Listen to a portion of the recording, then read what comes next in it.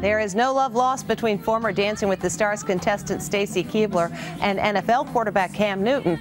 Stacy's husband is suing the Panthers quarterback over damage allegedly done to his Beverly Hills home when Newton was renting it. Stacy Keibler is calling out NFL superstar Cam Newton. He just needs to do the right thing. Really? Do you think he's going to pay though?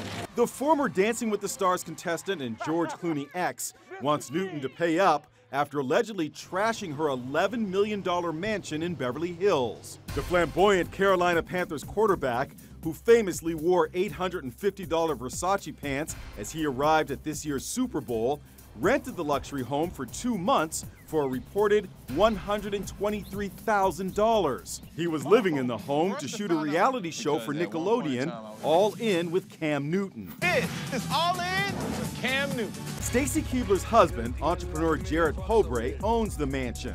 He says Newton agreed that there would be no smoking, no parties, and no more than eight guests in the mansion at a time. But according to a just filed lawsuit, Newton threw several wild parties that resulted in water damage to the floors, ruined bed linens, cigarette ashes all over the house, and the destruction of a $32,000 rug. I know you can't talk much about the Cam Newton case. Stacy and her husband were peppered with questions as they left a restaurant in Los Angeles. Do you dislike him as a person now?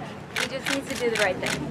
The lawsuit asked Newton to pay $270,000 in damages and lost rent. He has not responded to the allegations.